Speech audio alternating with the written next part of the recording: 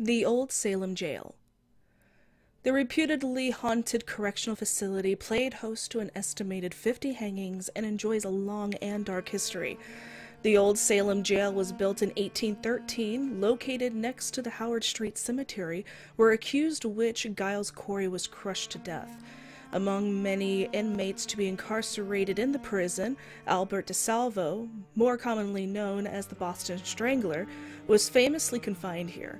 By 1984, conditions in the prison had deteriorated to such a level that a federal judge ordered the jail's closure, which eventually took place in 1991.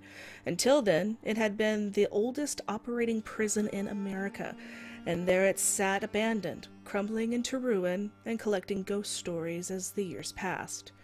Visitors to the old Salem jail reported sightings of dark apparitions wandering the empty corridors and rooms of the prison.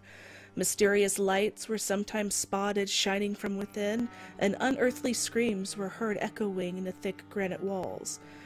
Today, after an extensive renovation of the structure, it has been turned into luxury apartments, and the spirits of the old Salem jail appear to be at rest for the time being, that is.